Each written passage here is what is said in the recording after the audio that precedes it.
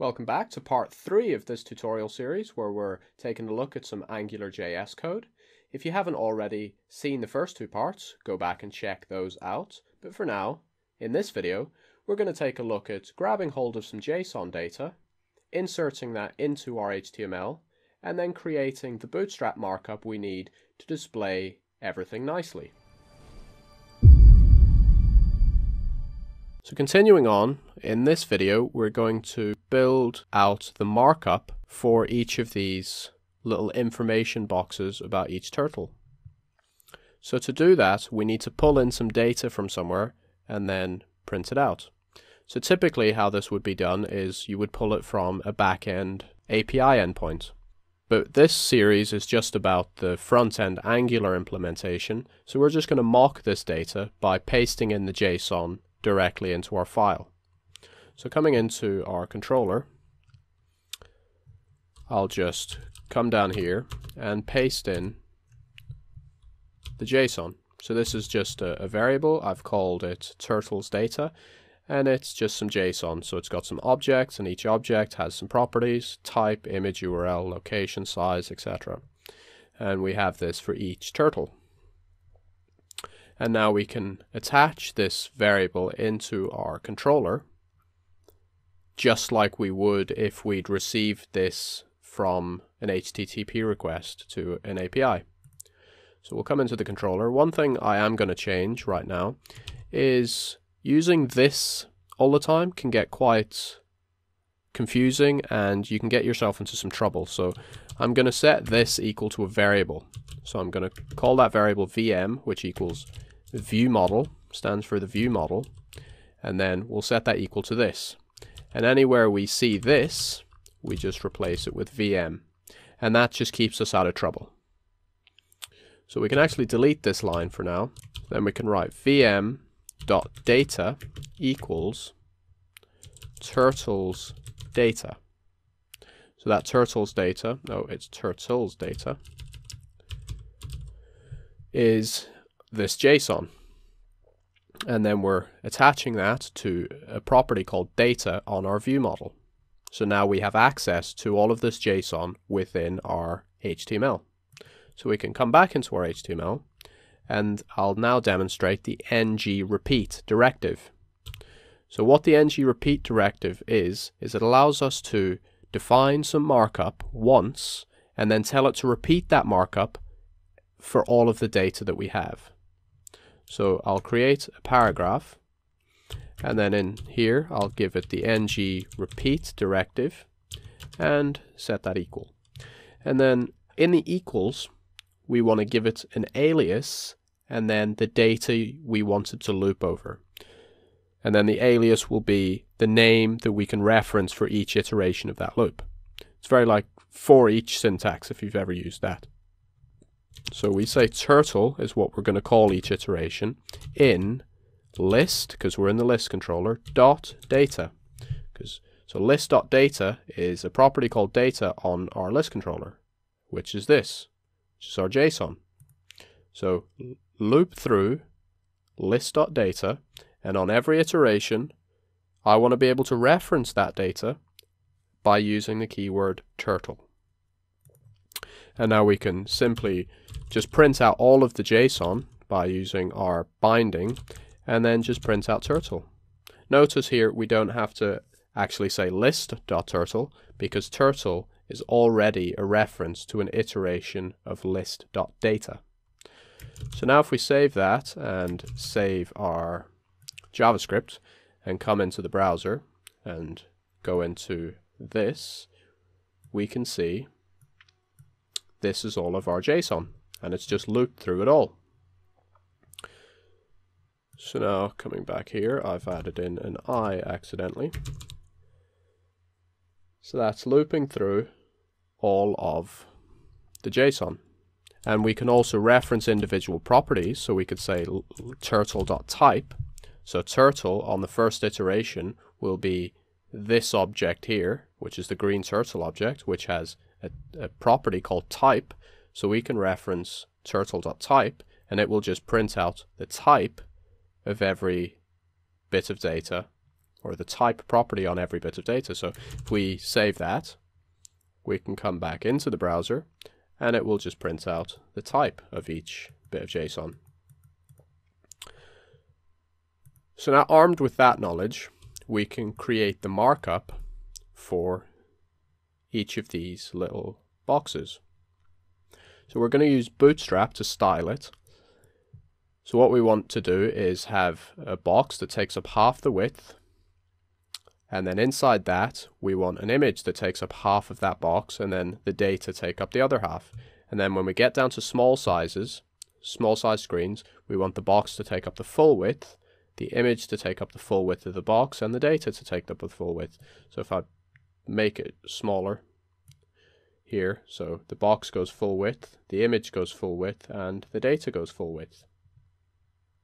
So bring that up to maximize and come back into our HTML and I'll delete this paragraph because we want to create it using Bootstrap. So we'll start off by creating a Bootstrap row and then inside here we'll create a column that breaks at small sizes and we make it 6 which is half size which is what we wanted each of these rows to be. And then inside here is where we put the bootstrap well, which is the gray box uh, that you can see in here. So each of these gray boxes is called a well in bootstrap. So coming back into here, this is where we put our well. So this is the markup that we want to repeat. So on here, we can add in our ng repeat equals, and then we can just do turtle in list dot data just like we did before. And then from here we can say well, and then we want a small well. And then like we said, we want the image and the data to split half-half on big screen. So we'll create another row. And then we'll create a call MD, so it breaks at medium sizes, and we'll make it 6 again, so make it half. And we want two of these, because we want one for the image and then one for the data. So in here, we'll create the image, and we will forget about the alt tag, but we'll give it some classes, some bootstrap classes. We'll give it image rounded, just to make each, like the, the corners of the image rounded. And then image responsive, because we want it to resize.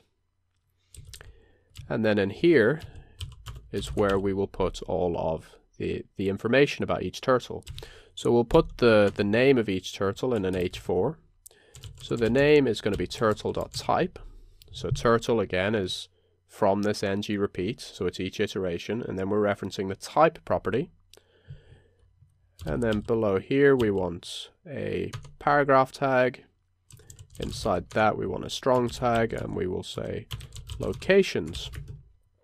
And that's where our locations location will be printed out and the location is turtle dot locations. Still using that angular binding. And then we want another paragraph with another strong tag. And this time we will say size and you'll see the, the pattern from here. So it's going to be the same. So we create the binding turtle dot size and then a p tag a strong tag average lifespan. And then we'll give ourselves some more some more room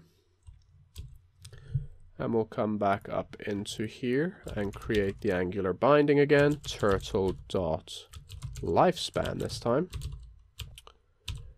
And then the p last time strong. And this one is diet. The angular binding turtle dot diet. Save and then we come back into our browser. And there you go. We've got our title, location, size, average lifespan, and diet. So now we need to add in the image and the button down in the corner. So to add the image, we need a new Angular directive. So typically with an image, you have a source attribute, and then inside the source you put wherever your image is coming from. But the problem is, as soon as the page loads, it's going to try fetch that source URL. But that source URL is in our turtle data here. So we're going to have to reference it by using Angular binding. So we use that, and then it's going to be turtle.image underscore URL. But that, of course, isn't uh, a URL. This literal string of the double curly braces turtle.image URL, that's not a valid URL. So the browser isn't going to know what to do with it, and it's just going to return nothing. So to get around that, Angular have given us a directive called ng source. So obviously when the browser loads, ng source means nothing to the browser, so it's just going to skip it. But then when Angular hooks onto the page, it's going to see the ng source, evaluate this, get the actual URL, which is in here, and then fetch it and then display that. So now if we save here, go back into the browser, There we go. We've got the image on each of these. Looking nice. So now we can add in the button on the bottom right. So head back into here and the button goes below all of these paragraph tags. So it's just a button tag and inside here we'll say learn more and then we'll give it some bootstrap classes to style it. So we'll give it the class of button, button primary, and we want it on the right hand side so we'll also give it the class of pull right and we'll save that. Hop back into the browser and there we go. So now we can click these and they do nothing. But in the next video, we're going to take a look at how we can listen for those click events and then do something based on all of those click events. And also one other thing that we'll do is correct these images. So right now you can see these images are different sizes. So we'll add some custom CSS to make sure that they're all uniform sizes. For those of you that haven't checked out my website yet, I do a full article write-up for every single video that I put out on YouTube and that will include code snippets and other little things that will help you along. The link to the write-up for the current video is on the bottom left of the screen. And if you just want to continue watching this video series, then just click the link in the center of the screen and we'll get started with the next video.